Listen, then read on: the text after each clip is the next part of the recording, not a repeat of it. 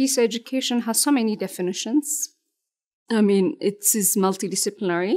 It could be taught like peace in multidisciplinary setting. But very briefly, the very definition of peace education is working on the attitudes, the behavior, and the character of uh, any human being, be it adults, young girls, or anyone. So it could be taught formally in the curriculums in educational setting.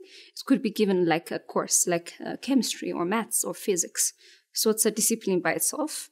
So we're pushing. There are only a few countries in the world that give peace education a formal setting. Uh, but now the, there is a strong uh, initiative. There is a strong advocacy in almost all parts of the world.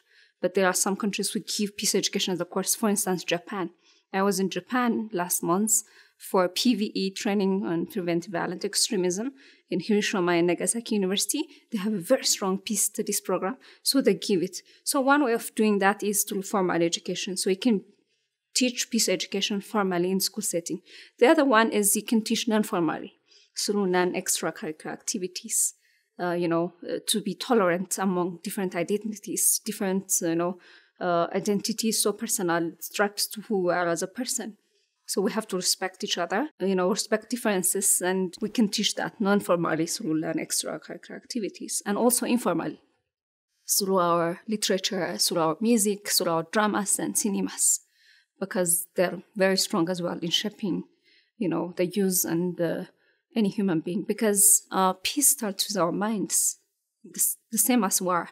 So the same species, like UNESCO's uh, constitutional civil statement, who is cap- uh, creates war is capable of creating peace.